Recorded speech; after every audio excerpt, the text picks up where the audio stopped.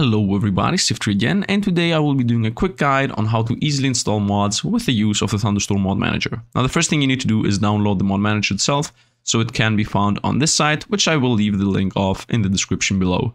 So after you go to the site and this thing pops up, you go with download, download the exe given, and uh, yeah, run it.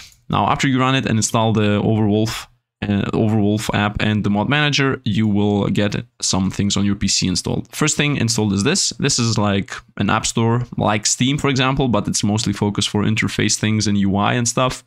And uh, we don't need it. And the second thing that you get installed is this overlay over here, which uh, gives you quick access to some stuff, but you can also close this by pressing this minus button. So that's the first two things that get installed. The other thing that gets installed, the one we care about, is the Thunderstore Mod Manager. Now here, first of all, you see all the games that are on the mod manager, uh, even if you don't have them. And then you can just go to the game of your choice and select the platform of it and start modding. Now here, the first thing you need to do is create a new profile. So we go with a tutorial, I guess, as a profile. And uh, yeah, let's select the profile and start modding. Now, first thing you can see is we don't have any mod installed. The first thing you should do is go to online and choose which mods you want. And at that point, you are already done. So let's, uh, I guess, download the Dino mod. Let's download redrafting mod, which is easily testable. Here, Garth's mod, why not? Uh, I'm just uh, downloading cards mod for now, card mods for now. And also, let's download this. Now, after you download some mods, First of all, when you download mods, you can choose the version of the mod. That is going to be important for something I'm going to say in a bit. And uh, after you download the mods, you can see them here installed. As you see, some some things got installed which you did not choose, like the BepInEx API and the JSON card loader. Those are dependencies for other mods, so don't really uh, care about it. And uh, just start the game modded. First, first start the game modded and see what you can find. Now, a UI appears, which you should keep an eye on, and you just saw the UI for half a second had something red in it. So that red thing means that something crashed. I'm gonna show it to you in a bit.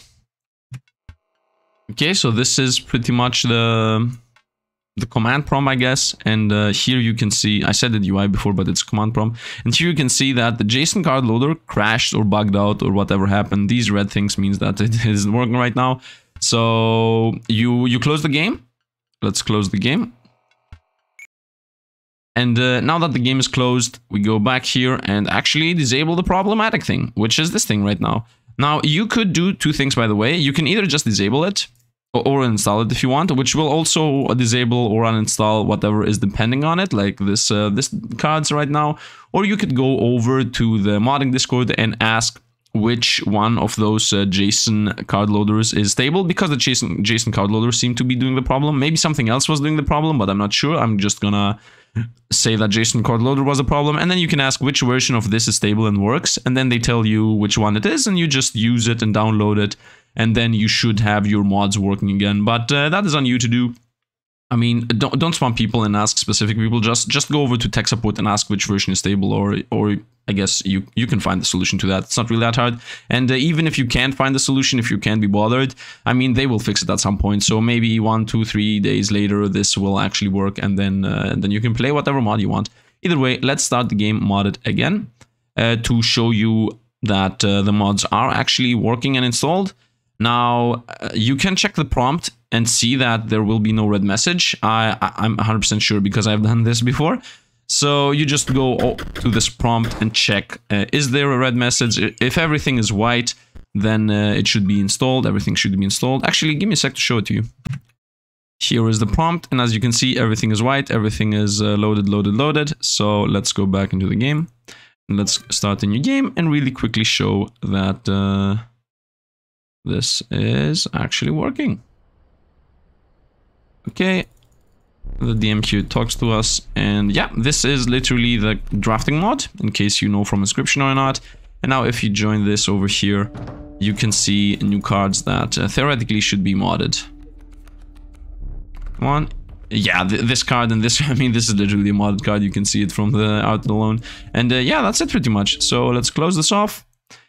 And um, yeah, there is nothing more to explain. Now let me explain some a few stuff over here with the modding. So we are already done with the modding part. Now, some stuff that might not be really known for everybody is that you can export your mods, export profile as a code. Okay. And then you can get this code and literally give it to somebody.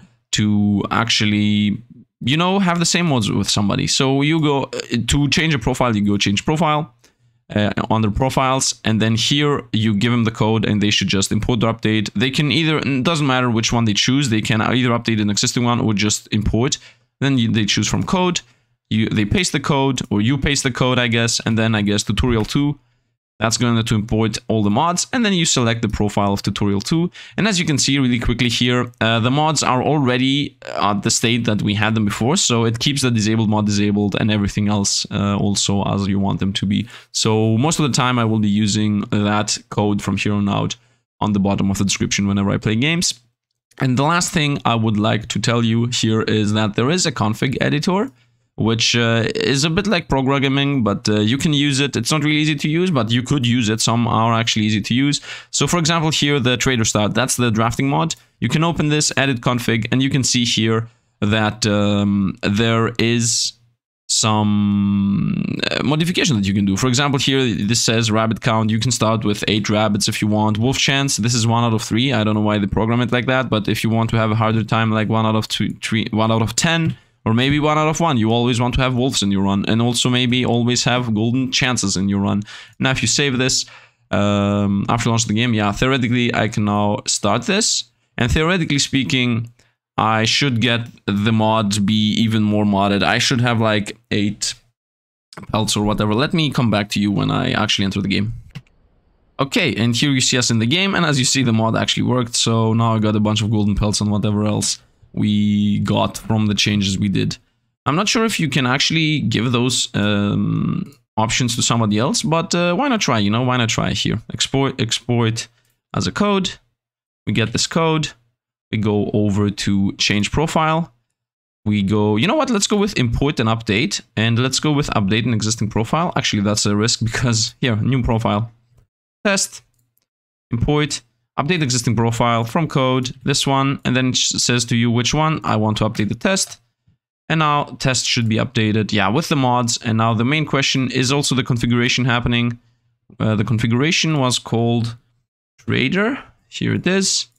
And as you can see, even the configuration is uh, changed. So when you send a code somebody, you are also sending them their configuration alongside it. So maybe you can I guess um, min-max or tweak some values that you would like to have different uh, with the mods you use and then send them tweaked to somebody like this is my mod and I mean th these are the options I'm using etc etc so you can get an exact replica of whatever mod somebody is using.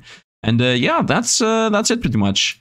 I think we're pretty much done. Now maybe the last thing I could show you is that you just have to press the change game there to get back to this screen and that's it. Literally that's it so yeah, if you enjoyed this, if it was helpful, maybe drop a like. It helps out immensely. And uh, if you have any problem, as I said, the modded server, the modded uh, Discord should help you. I mean, it's modded from it's a mod. It's Inscryption. It's an Inscryption based modded server, so I'm not sure if it's gonna help everybody, but it's gonna help at least for Inscryption related problems. And um, yeah, that's it. So if it was helpful, maybe comment down below. If if you have any uh, questions, I guess you could join the Discord to ask or just comment down below and I might read it. And yeah, this time this is it. So once again, thanks for watching and see you guys around.